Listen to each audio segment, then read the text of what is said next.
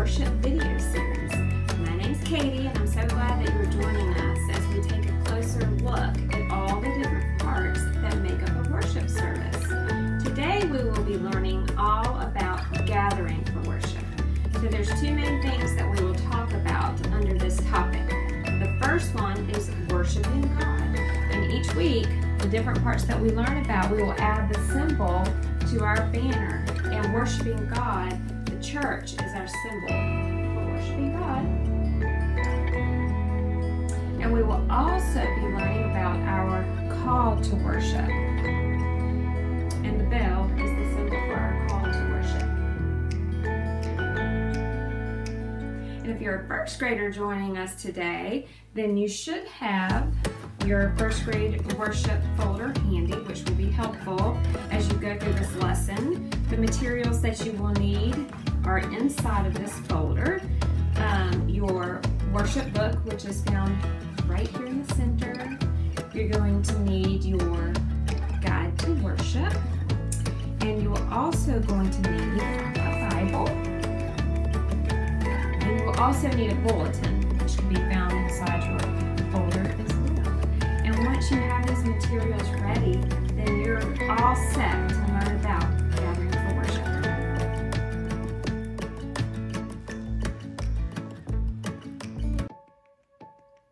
Open your A Children's Guide to Worship to this page. We assemble in God's name. There are four regular acts of worship that we use the most. They are we hear God's word, we sing to God, we pray to God, and we give to God. Through these videos and on these pages, you will see that worship follows a definite plan every Sunday. The church mice on every page will help you follow the plan. God is very pleased with us when we worship together. We are all children of God. Prelude. As we gather to worship God, the beautiful organ music helps us feel closer to God.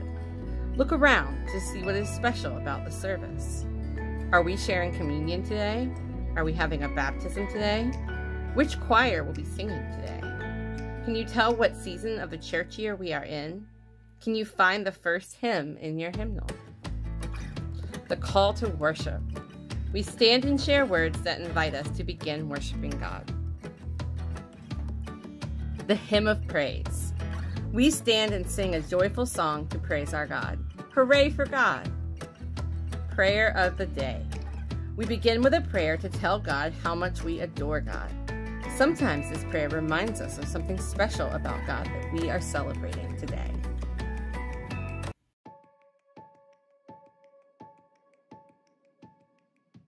Hello, and welcome to our worship training videos. This series of videos will help you understand what happens in worship when we gather together to sing our praises and to give our offerings to God. Did you know that preparing for worship takes way longer than just a Sunday morning? Staff and members prepare all week, and on Sunday, everything sits ready. The choir, the ushers, the pastors, and all the people who are a part of making worship happen have their special moment. When you come into the church, who do you see there? When you turn on live stream church at home, who is there waiting? When you walk into the fellowship hall for the net, who is standing there? This, this is your church family. These are the people that gather together every Sunday to worship. And at the beginning of our service, you can sit and look at your bulletin, either online or in your hand, and you can see some of the things that are going to happen that day. If you look around the sanctuary or around the net or on your screen, you will see a lot of things there and a lot of people there, and every one of them has their purpose for Sunday worship. The goal of this series is to help you understand a little bit about what each one of those things are. You might see the pulpit. You might see the baptismal font. You might see the communion set or the offering plates. You might see someone with a name tag on or a robe on. You might see someone at the organ.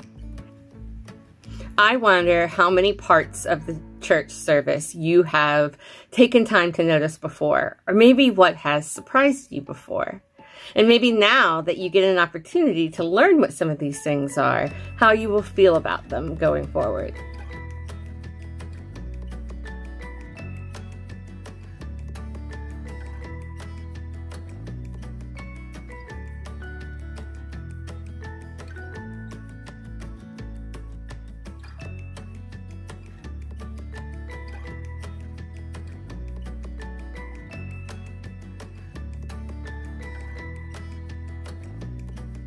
One of my favorite things to do when we first arrive at church is to find the hymns in the hymnal or the verse in my Bible. I might pull it up on my phone or I might open a Bible in my hand so that when the pastors read the scripture, I have it ready and I can read along as well.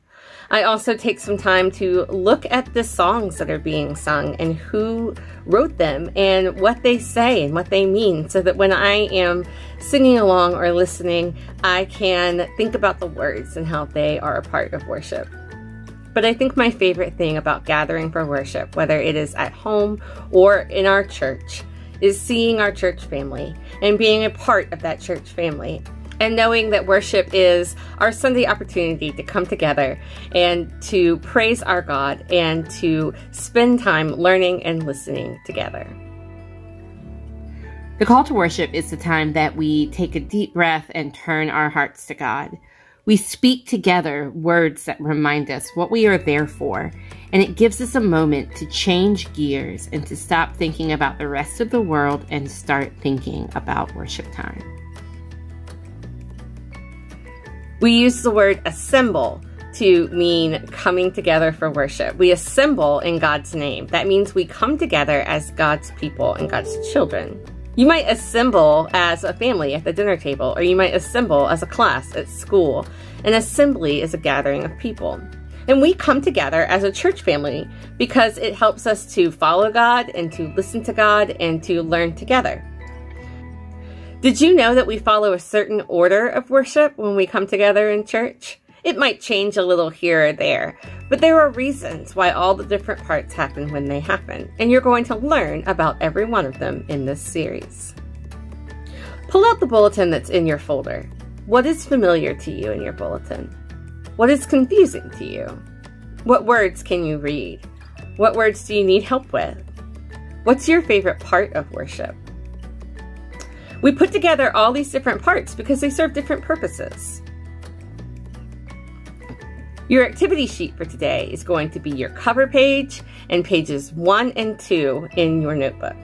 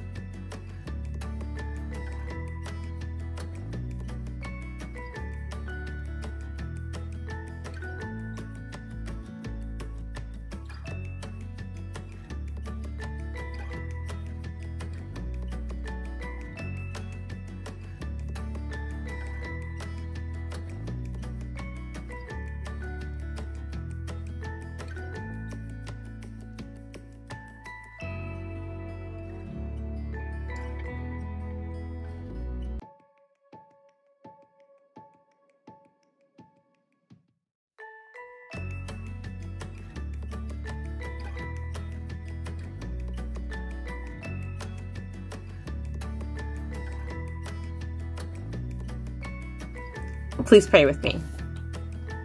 Dear God, we thank you for our church. We thank you for your love and the ways that we can come together as a family to show you that we love you, to learn together, to pray together, and to listen to your word. Please be with us when we sing, and be with us when we confess, be with us when we give, be with us when we witness baptisms, be with us when we are listening to your word in church. And all God's children, all God's children said, Amen.